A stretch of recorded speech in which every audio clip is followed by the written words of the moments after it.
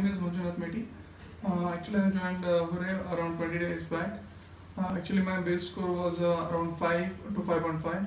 But after joining Hurray, uh, after 20 days, uh, after the regular practices and the guidelines by the faculty, um, the score is up to 7 to 7.5. I have improved uh, by two uh, band, and uh, this would give me this will give me the confidence to attend the exam, and this would help me in uh, cracking the IELTS uh, confidently.